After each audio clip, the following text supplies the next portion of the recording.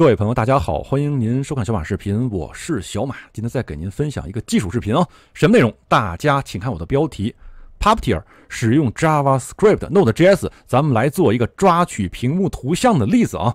好，那咱们闲言少叙，马上开始今天的知识点，就一个，咱们学习谷歌公司出品，这个 Puppeteer 是谷歌公司出品啊啊，学习谷歌公司 Puppeteer 最基本的抓图功能，但是。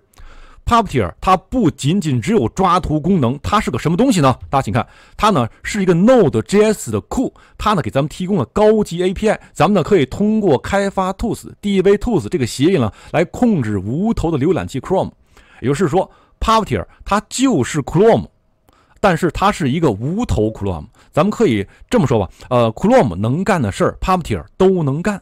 好不好？那么今天咱们就学习 Puppeteer 最简单的使用。呃，如果有朋友对这个 Puppeteer 感兴趣的话，今天我可以做一系列的课程，专门给您讲解一下 Puppeteer 使用啊。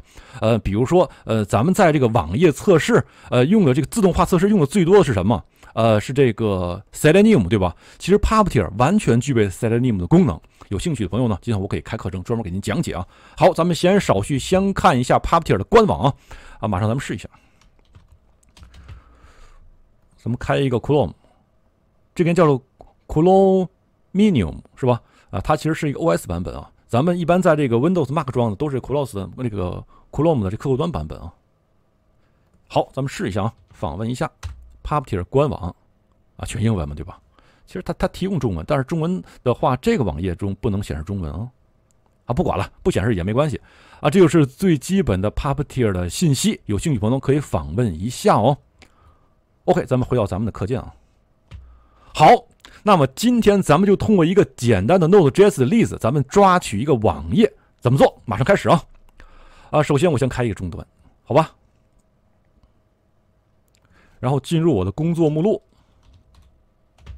然后给您调大，好吧？咱们就在这个幕下，咱们开始做啊。先干什么？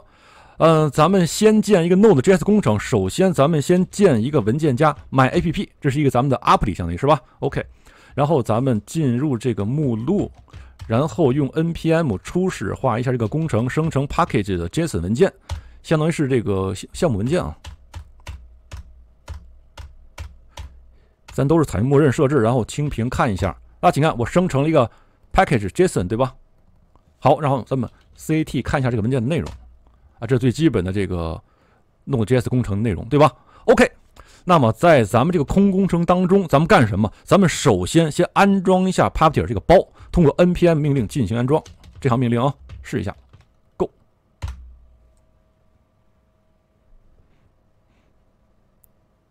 大家请看，它现在正在干什么？其实它正在下载 Chromium 是吧？Chromium 是吧？啊，也就是说，咱们其实运行咱们的 A P P，就相当于在咱们程序中去控制一个 Chrome，然后让让它做各种各样的操作。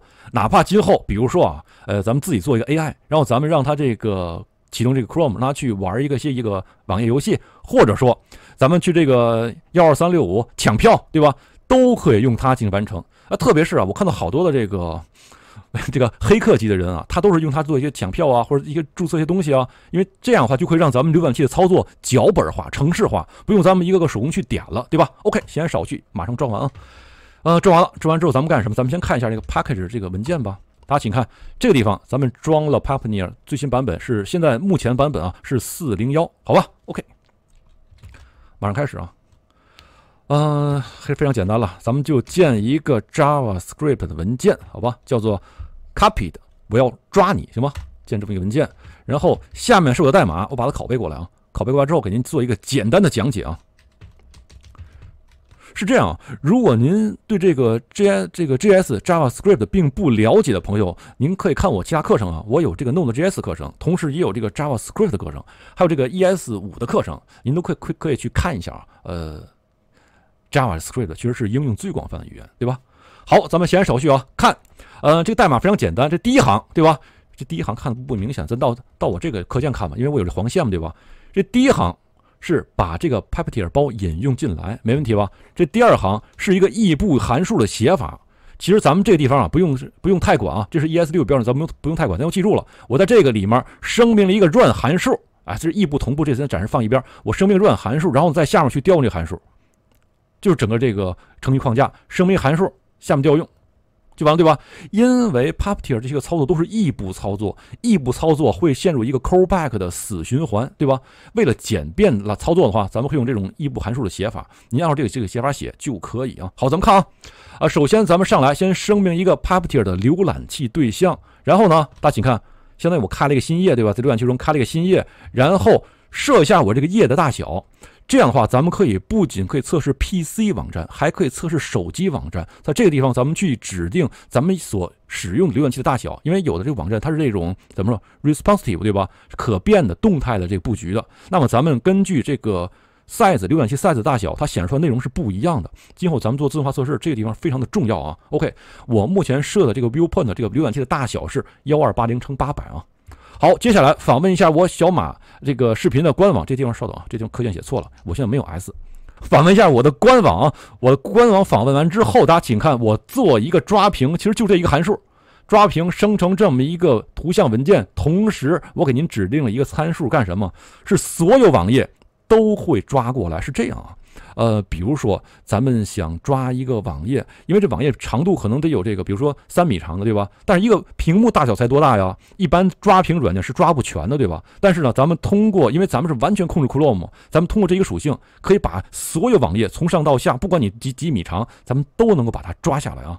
抓完之后，然后关闭，哎，就这么简单，好吧？那咱们实际就运行一下试试看哦。回到我的终端，然后存盘退出。然后直接执行 node 空格，敲上它 copy 的，然后一回车，大家注意看，正在访问，OK 成功。然后咱们看一下啊，咱们这样吧，我这个地方应该是生，在我当前目下应该生成了一个新的文件。大家请看这个位置叫做 mypic 点 png，对吧？咱们打开，大家请看，是不是把我网页的内容都抓下来了？我把放大一点啊，百百分之百吧。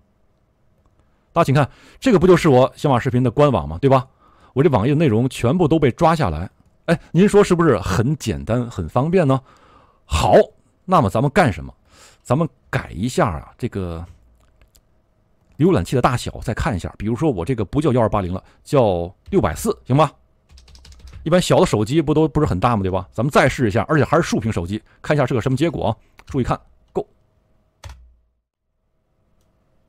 OK，完成，马上看一下实际结果。